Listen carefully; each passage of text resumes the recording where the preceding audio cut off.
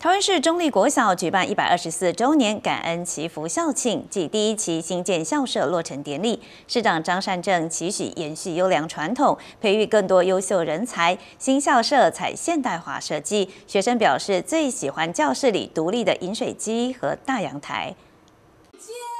中立国小举办一百二十四周年感恩祈福校庆暨第一期新建校舍落成启用。第一期工程在一百零九年七月完工，历经三年的工期，在今年五月完工，七月底完成校舍搬迁，让师生们在九月开学就能用上新校舍。中立国小过去造就了很多呃非常杰出的校友，呃，让我们桃园的发展、中立的发展都呃。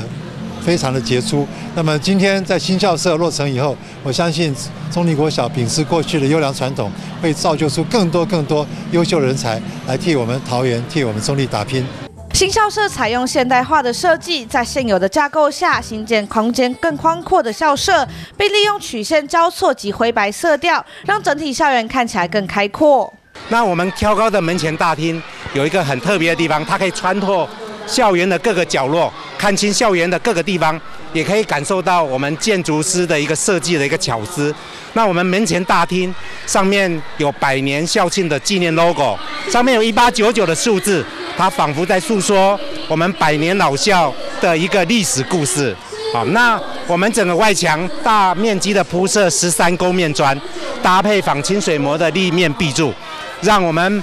的百年校舍在呈现一个风华再现的一个风格和意境。新校舍使用至今两个月，小朋友们纷纷表示对新校舍的喜爱，尤其是六年级的小朋友体验过新旧校舍的差异，说最喜欢每间教室都有独立的饮水机和大阳台。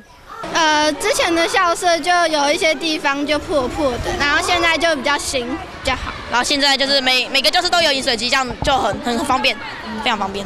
第二期工程操场及活动中心预计在明年九月底完工。有着一百二十四年历史的中立国校，在校舍翻新后，学生逐渐回流，结合周边日式建筑改建的中立城市故事馆、立小故事森林，打造成为尊重环境、延续自然与历史脉络的特色小学。